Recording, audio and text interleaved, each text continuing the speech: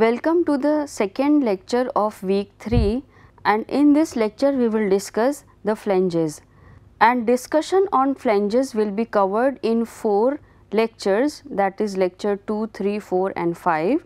In lecture 2 and 3 we will discuss theory part of the flanges. However, in um, third part we will see the design procedure and in fourth part we will solve a few example for design of flanges. So, let us start the discussion on flanges. First we will discuss that what is flange. So, basically if you remember different components of pressure vessel, there we have not discussed the component flanges. However, flanges can be used to join the two parts.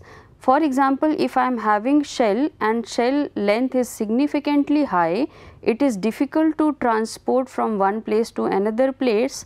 So, usually we prepare that shell in different parts and then at the site where it needs to be installed those parts will be connected. So, flanges are the integral part of the design. So, it is not a separate component than the pressure vessel, it is the part of pressure vessel only. So, what is flange? First of all we will discuss that and then what are the types of flanges that we will discuss. So, let us define flanges. So, flanges are basically used to provide leak proof connection between two pieces of pipes and nozzles. Okay. So, flanges are used to connect either two pipe or pipe with nozzle or nozzle with cover. Okay. So, in all that stages we need flanges. Now, if I am saying that I have the uh, two pipe of different diameter, okay, so, a smaller diameter pipe can be inserted in larger diameter pipe through screwing it. Okay? It, it is easily joined, but what happens when diameter of both pipes are equal? Okay? So, flanges are basically used to connect the pipe of equal diameter or pipe with the nozzle because nozzle is the accessory and uh, that will be connected with the pipe okay or if I need to uh, cover the nozzle for example if I am preparing a sight glass okay for uh, seeing that what is happening inside the vessel so that um, nozzle we uh, for sight purpose we prepare the opening and then that opening will be inserted with the nozzle and over this nozzle that nozzle will be covered with the flange okay so for all these purpose we need the flange. However, when I connect the pipe, the pipe diameter should be equal, then only flange will work. So, these can be either welded or flanged. These means the pipe sections or pipe and nozzle these can be either welded or flanged.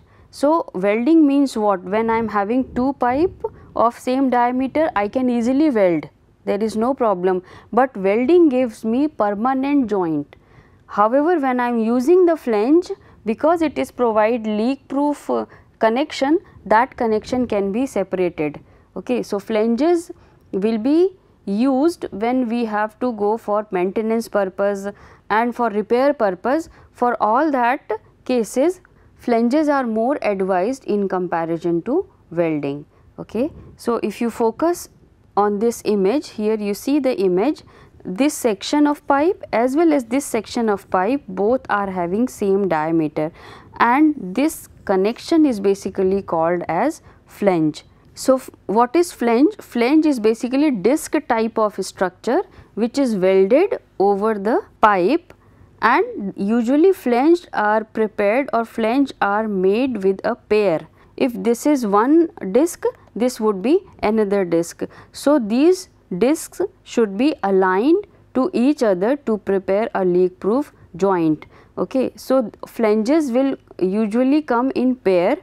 So, one flange will be welded in this pipe, second flange will be welded to this pipe and then these disc will be connected through bolts as you can see these are the bolts. So, through these bolts these discs are connected and uh, the whole assembly we can call as flange as you can also observe from this image here all diameters are equal.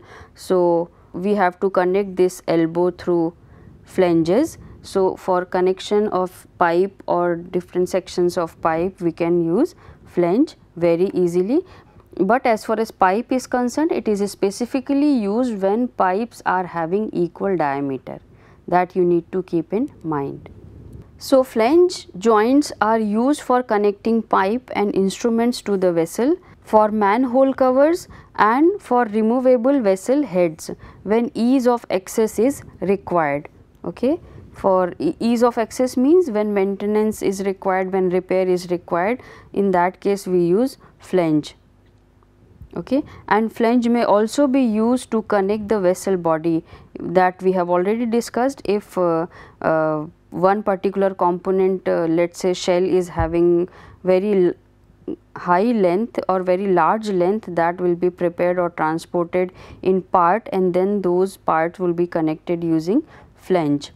So, flanges ranges in size from few millimeter diameter for small pipes to several meter diameter for those used as body or head flanges on vessel. Okay. So, it is used in different sizes depending upon where we need to attach okay it may, may be smaller size it, it, may be very large size when i am connecting the when i am connecting shell sections or when i am connecting shell with head. In that case flange diameter will be very high. And here you see this image. Here we have this image shows different types of flanges made of stainless steel. Okay so here if you see this particular flange and this particular flange, this flange, all these flanges are having different shape. So, this will be more clear when we will focus on types of flanges, but what I need to tell here that whatever flange you are considering for example this, so it is having 4 holes okay? And in this flange we are having 1 2 3 4 5 6 7 8 8 bolts i have used over here. Similarly 4 are there 4 are there. So what is the point? That whenever i am designing a flange we take whenever i am designing a flange we consider bolt in multiple of 4 that is the guideline that it is either use 2 it, it it is either use 4, 8, 12 like this. So, it will always be the multiple of 4 to have a tight joint. Okay. That is the guidelines to design a flange. So, let us discuss flange joint, how it is connected. So, here I am having the connection where this is the pipe and this is the pipe of equal diameter.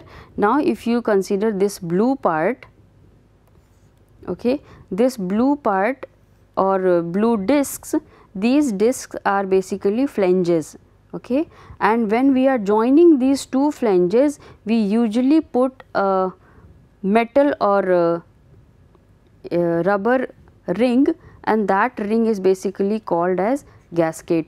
So, gasket is the integral part or internal part of the flange and it is placed between two faces of flange okay and uh, each flange will have different holes and these holes will be connected through bolts and nuts and here I am again having this uh, uh, you can say washer or gasket.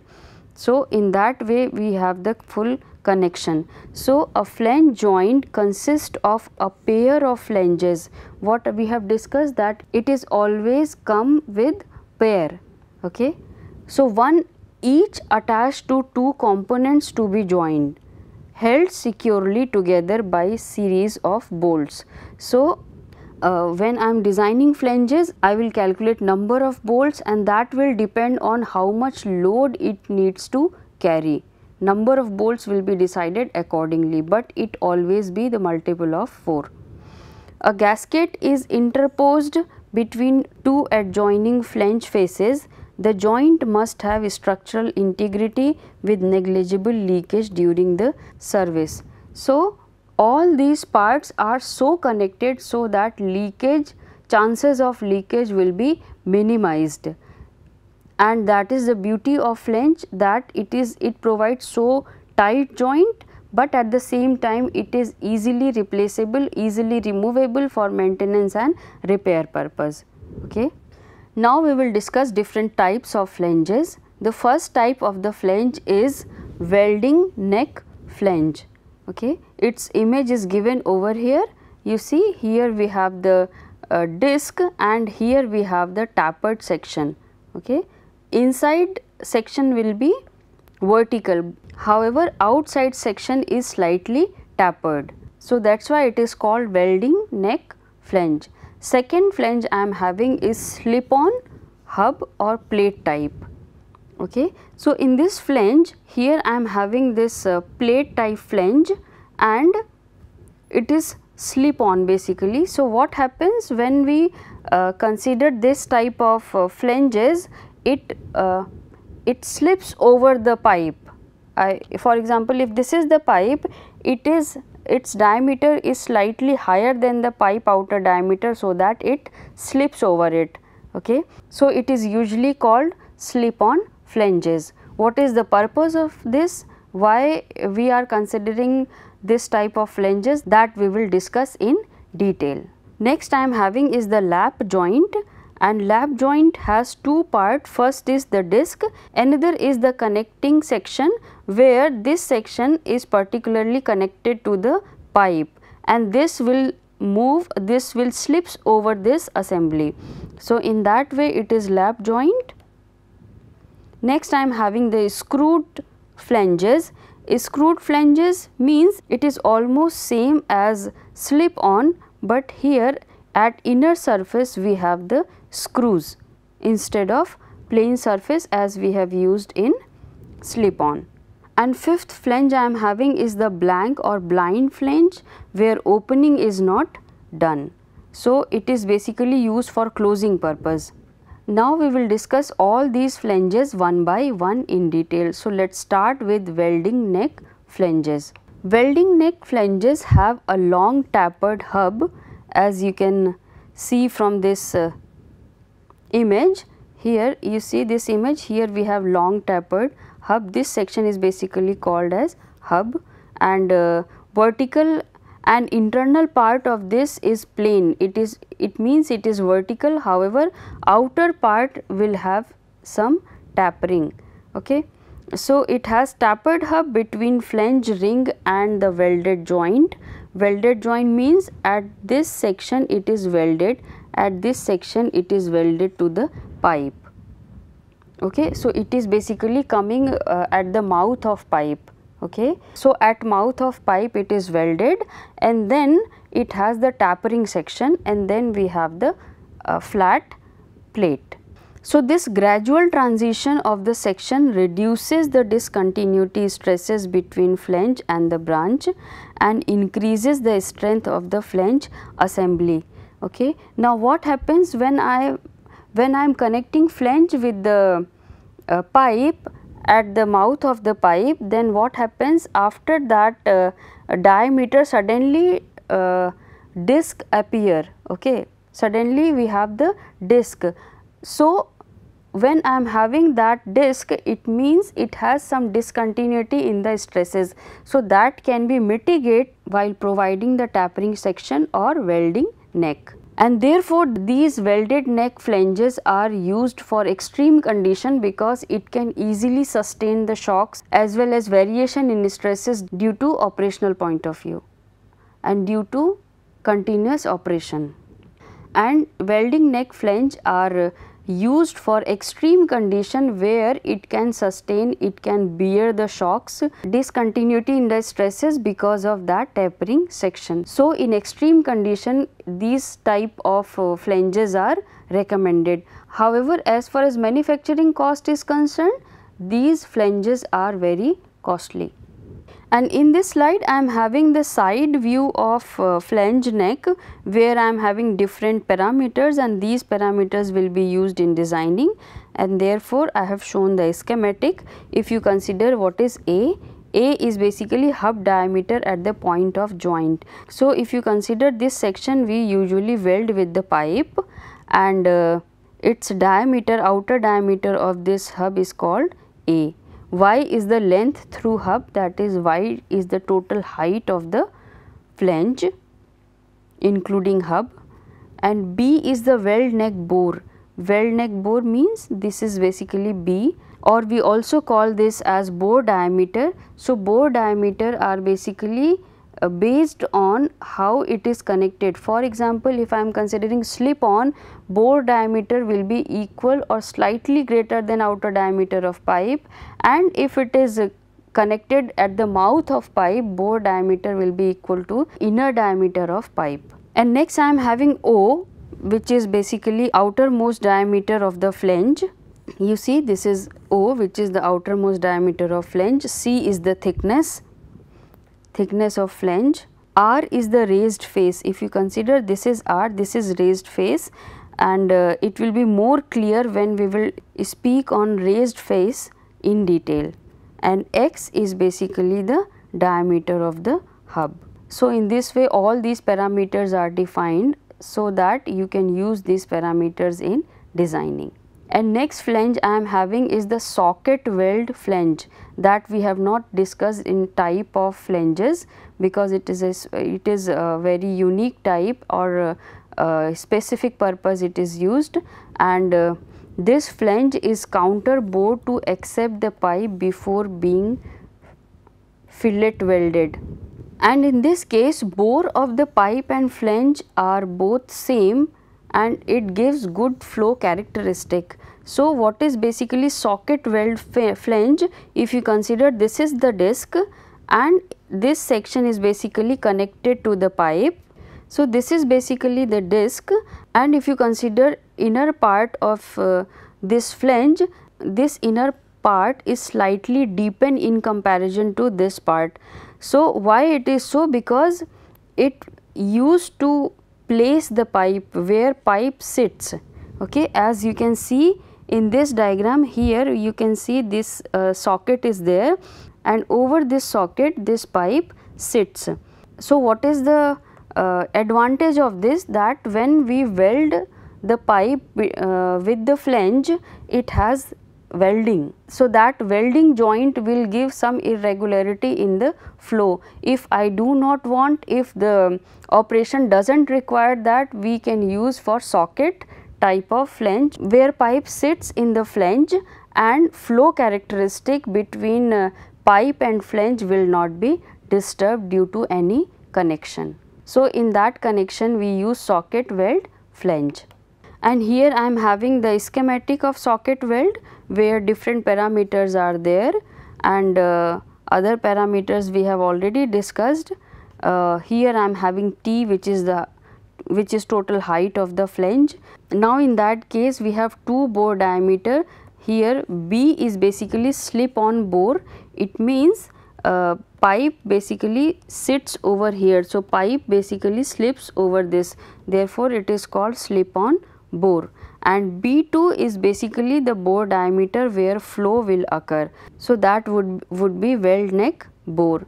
Ba other parameters we have already discussed in uh, previous uh, flange. So, you can correlate that. Next I am having slip on flange. Slip on flange means what? It slips over the pipe. So, in this case uh, if you see this is basically uh, the uh, plate section of the flange and here this is the bore diameter and bore diameter will be slightly higher than the outer diameter of uh, pipe so that it can slip so that it slips over the pipe.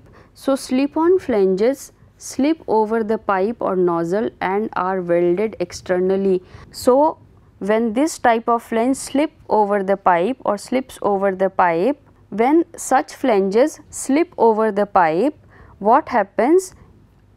The how it will be in how it will be welded?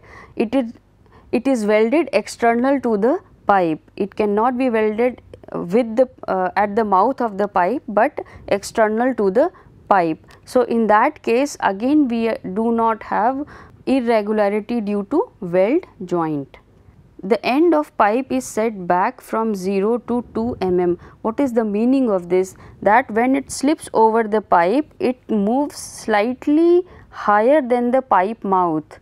Okay. So, pipe is usually kept uh, 0 to 2 mm back to the flange. So, strength of slip on flange is uh, from one third to two third that of corresponding standard welding neck flange because it slips on so it cannot uh, sustain shocks and very high uh, operating condition because it slips over the pipe so it cannot sustain shocks or uh, vibration or very high operating condition. So, slip on flanges are cheaper than welded neck flanges and are easier to align, but have poor resistance to shock and vibration loads. Slip on flanges are generally used for pipe work. So, these are used where extreme conditions are not faced or are not allowed. So, use of this type of flanges should be limited to moderate services where pressure fluctuation, temperature fluctuation are not severe. So, that we have already discussed. So, in this slide I have shown the side view of flange where different parameters are mentioned over here and these are also shown in this uh, image. So, I think all these parameters we have already discussed. Only thing you need to keep in mind B is basically slip on bore. Okay. So, that would be slightly equal to the outer diameter of pipe and now I am having lap joint flanges. This type of flanges have two different sections. As you can see from this image that this is basically the disc and this is another section which we call as lap. So, with the pipe this lap is connected as you can see from this uh, schematic that here we have the connection of uh, this lap as well as pipe and this disc basically slips over this lap and this disc basically slips over the lap. Okay. So, it is more uh, clear in this image here you see this uh, lap and here we have the flange and here we have the flat section of the flange. So, lap joint flanges are used for pipe work. They are economical when used with expensive alloy pipe such as stainless steel as flange can be made from inexpensive carbon steel. So, what happens till now whatever flanges we have discussed it has single material and if I am using flange of very uh, specific material or very costly alloy in that case lap as well as uh, flange that can be kept of different material in that case only lap joint will be applicable. Lap joint flanges are sometimes also known as Van Stone flanges. Okay, so, this is the use of lap joint. Here we have this uh, uh, side view of this where different parameters uh, are there and here apart from all these parameter we have this knuckle part or we have this round section also because of this round section lap as well as plate of flange can be connected nicely which is also called as lap radius. Now we have screwed or threaded flanges. Screwed flanges are used to connect screwed fittings to the flange. They are also sometimes used for alloy pipe that is difficult to weld satisfactorily. So, it is basically used when we uh, have a specific alloy which has difficulty in welding. You can understand in that way which has difficulty in welding. So, that flange can be joined with the pipe through screwing it. Only screw fitting will be required only screwed fitting will be required at that condition. So, here we have this flange. It is simply like uh, slip on. There is nothing uh, difference in design except that uh, screwing part wherever it is connected to the pipe there we have the screw as it is shown over here and in this schematic. And here in this diagram again I am showing the side view of uh, uh, screwed or threaded where these screwed are shown and parameters are almost similar as we have discussed in previous uh, slides.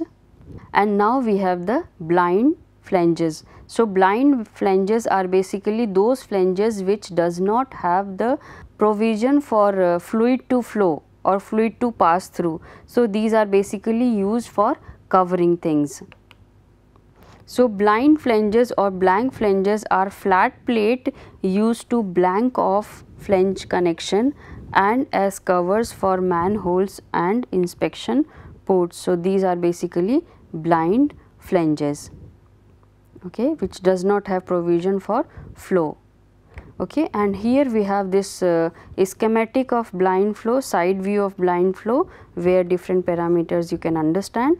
In all these uh, flanges you must have seen this R that is raised face. And I have not spoken anything on that. That we will discuss in detail when time comes. So, till now please bear this raised face as it is and here I am stopping part 1 of design of flanges and this is also the end of lecture 2 of week 3 and that is all for now.